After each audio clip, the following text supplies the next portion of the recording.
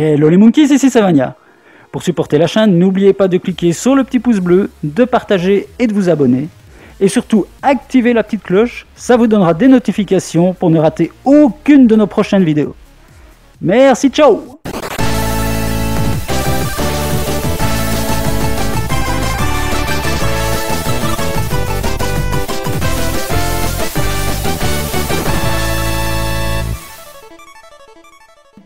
Bon, t'es prêt? 1, 2, 3. Et bien voilà, ici on va faire un petit unboxing du coffret collector numéro 2 de Dragon Ball Super. Donc ici c'est les épisodes de 47 à 76.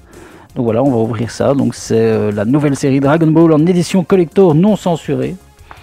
Euh, donc on va ouvrir ça tout de suite. On va voir à quoi ressemble ce magnifique petit coffret euh, j'ai pas pu résister de prendre évidemment cette version euh, un petit peu de luxe, hein, forcément, parce qu'il y a toujours du contenu assez intéressant.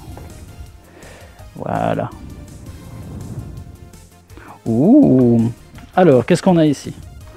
On a le Trunks du futur. Le Black Goku. Donc voilà, donc en fait, ouais, euh, ce coffret regroupe les 30 épisodes Black, Black Goku donc forcément. Par contre, ce que je trouve un petit peu, euh, que ça commence un petit peu à être abusé, c'est que le premier coffret, on avait droit à 47 épisodes. Ici, déjà, on tombe à 40, à 30 épisodes. Alors, sachant que Dragon Ball Super fait 131 épisodes, je ne sais pas ce qu'ils ont euh, prévu.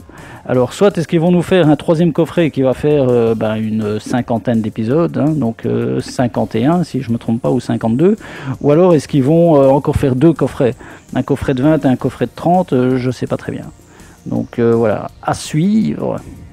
Alors, ici on a un super coffret, enfin livret, pardon.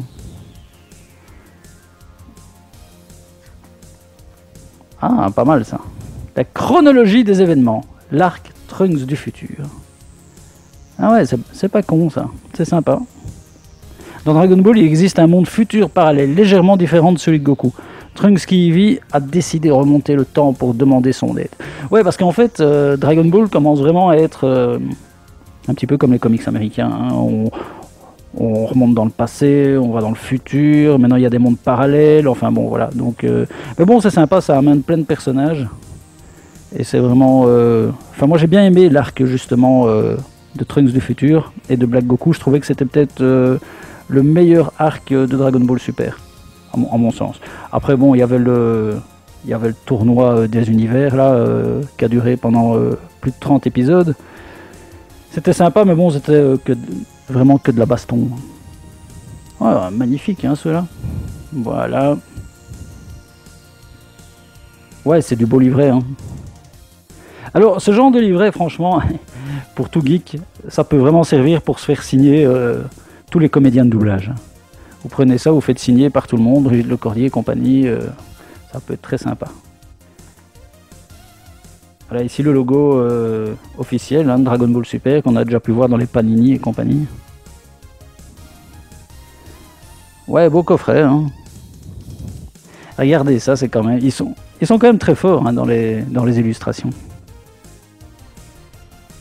Ah ouais, bon, moi la transformation de Black Goku, euh, bon, je spoil pas, je, suppose que tout le monde l'a vu déjà en version originale sous-titrée.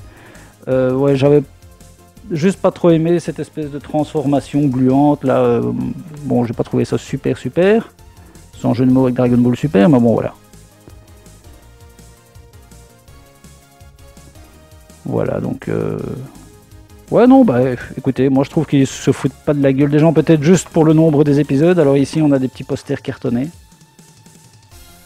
Très sympathique. Ah Black Goku il a quand même une chouette tronche. Hein. Regardez. Sympa. Hein. ouais, donc voilà. Tous des petits posters.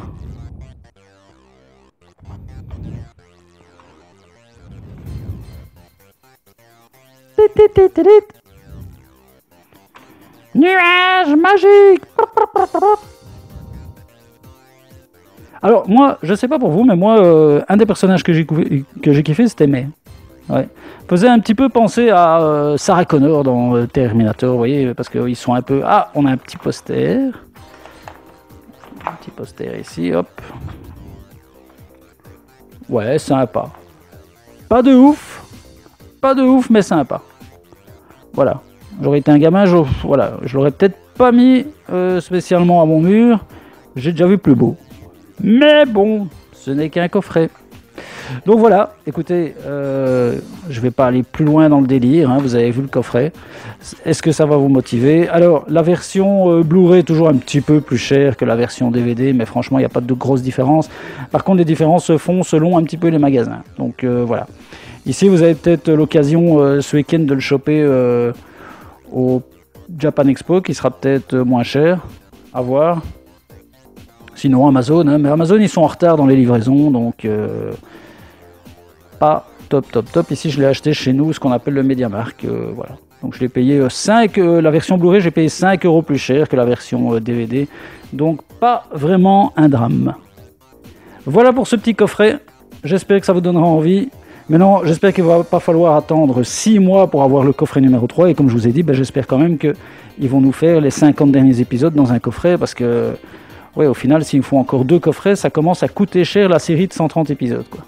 Donc euh, voilà. Mais bon, il, nous, donne quand même un beau produit. Donc on va pas trop râler. Donc moi je suis assez content. Allez les amis, ciao